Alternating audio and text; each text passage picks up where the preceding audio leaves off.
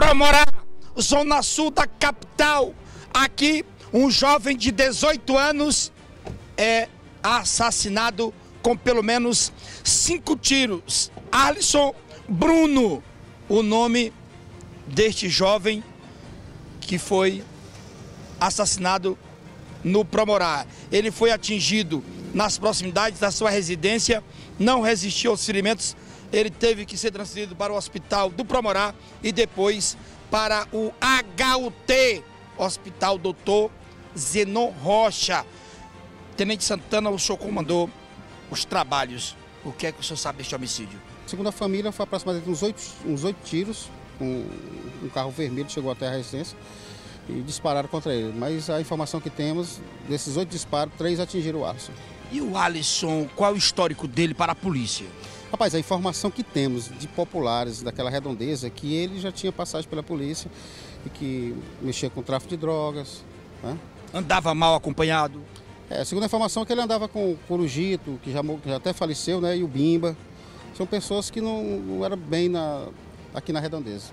Então o Tenente Santana vai entrar na viatura agora e nós vamos até o local onde o Arlisson Bruno foi alvejado. E a nossa equipe vai acompanhar sim a guarnição comandada pelo Tenente Santana.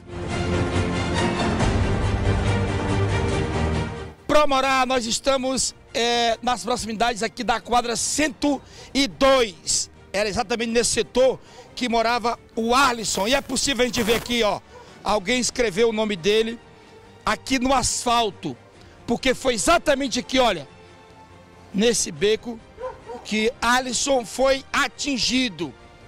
Dois homens chegaram em um carro, pararam exatamente aqui onde está a viatura da polícia e daqui já saíram com a arma em punho.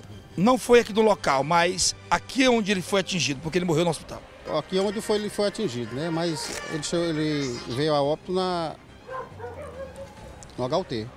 Mais um jovem tomba sem vida na capital do estado do Piauí.